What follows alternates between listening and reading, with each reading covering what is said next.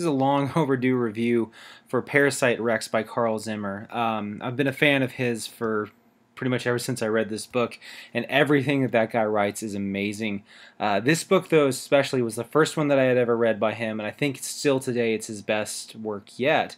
Um, and uh, I read it about two to three years ago. I think around that time, I hadn't taken any, uh, I guess, advanced level biology classes or any uh, microbiology, or even I think I'd not even gone to college at that point. So, um, but actually looking back at it now, with the knowledge that I have, I guess, accumulated over the time since, I can honestly say that one of the things that I love the most about this is the fact that as I as I'm sitting here thinking about it with the discoveries that we've made and the advances that we made in biotechnology, you know, talking about CRISPR just recently being discovered and how you know amazing that was, but that was a discovery that was made in Escherichia coli. That was something that we've known about for a very long period of time. I think if you want to talk about the future of biotechnology, if you want to talk about the future of medicine, a lot of that is going to lie in the biodiversity and the mechanisms that we have of, of, parasites, right? I mean,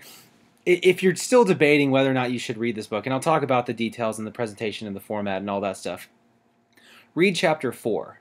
Once you read chapter four, look it over and if you liked chapter 4 you will love this book and if you didn't like chapter 4 you won't like this book. But if you're like sitting at a barnes and noble and you're thinking oh should i read this? That'll help you decide whether or not you want to buy it. Because to me learning about just that much biodiversity about the fact that there are parasites that can actually not just alter their hosts, they can hijack their hosts. I mean, imagine a surgeon that could give you a sex change, make your bone structures different, make you behave different, and, and change your physiology, all without picking up a scalpel. Imagine something that could do that. And, and, and one of the things that I think is so awesome about this, and especially whenever he, he lists all these amazing mechanisms that parasites have to, to alter their hosts and sometimes influence their host's behavior and other times literally give their hosts sex change operations, it's the fact that they can do it with such accuracy and such precision.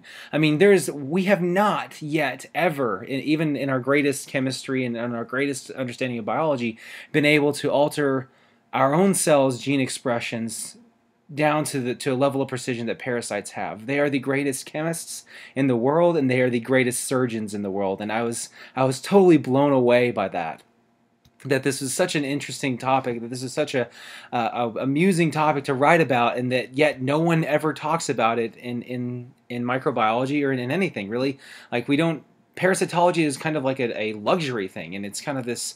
I don't understand why people have the attitudes that they have about it. But anyways, as far as the presentation and the format, uh, one of the things that I noticed is that a lot of Carl Zimmer's uh, writings are kind of they're all kind of the same in a good way, if that makes sense. If it ain't broke, don't fix it. He always kind of talks about the history of it, and then from the history, he builds up to the more modern experiments that have been done to kind of deduce how we got to this point. He doesn't just say that things are the way that they are, he explains the experiments really to a level of precision that was greater than what I've seen in my textbooks, which is really sad that I could learn more from reading about Carl Zimmer than I could from my actual, you know, textbook information there and uh, he he slowly kind of talks about the past, the present, and then the future, and and the roles that each and everything plays in it. Um, the presentation and formatting of it is very well done. It's very smooth. He's a very, very, very good writer. And uh, what makes it so nice is the fact that it's like this breath of fresh air because I don't. It's not like a textbook that's this boring,